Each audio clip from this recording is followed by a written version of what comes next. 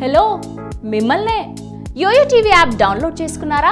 ఇంకా లేదా మీ యాప్ స్టోర్కి వెళ్ళి వెంటనే డౌన్లోడ్ చేసుకోండి. తెలంగాణ ప్రాంతానికి చెందిన ఓ హీరో పూర్తిగా తెలంగాణ యాసలో మాట్లాడే ఓ హీరో కాకినాడ బ్యాక్ డ్రాప్లో సినిమా చేయడం చెప్పుకోదగ్గ విషయమే.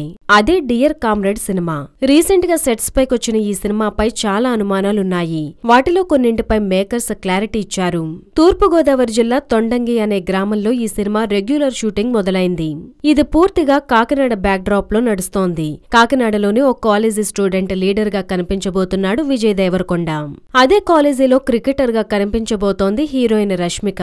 వీళ్ళిద్దరి మధ్య ప్రేమాయణంతో పాటు కాలేజీ రాజకీయాలు ఈ సినిమాలో హైలైట్ అంశాలు. హీరోను కాస్త రెబల్గా చూపించే ఉద్దేశంతోనే కమ్యూనిస్టు బ్యాక్ డ్రాప్ను సెట్లో కొంతమంది కమ్యూనిస్టుల ఫోటోల్ని వాడుకుంటున్నామని మేకర్స్ స్పష్టం చేశారు.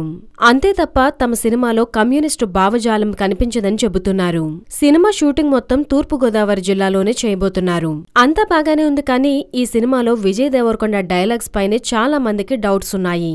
గోదావరి యాసలో మరీ ముఖ్యంగా ఈస్ట్ గోదావరి యాసలో దేవరకొండ డైలాగ్స్ చెప్పగలడా అనేది సందేహం. ఎందుకంటే మహానటి సినిమాలో చిన్న పాత్ర పోషించిన విజయ్ దేవరకొండ తన డైలాగ్ డెలివరీని మార్చుకోలేకపోయాడు.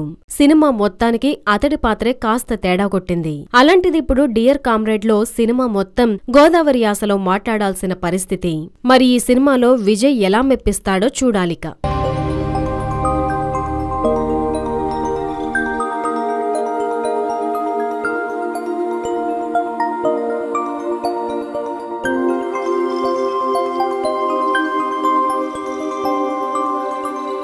ఈ వీడియో గనక మీకు నచ్చినట్లయితే లైక్ చేయండి. షేర్ చేయండి. అండ్ సబ్స్క్రైబ్ చేయండి.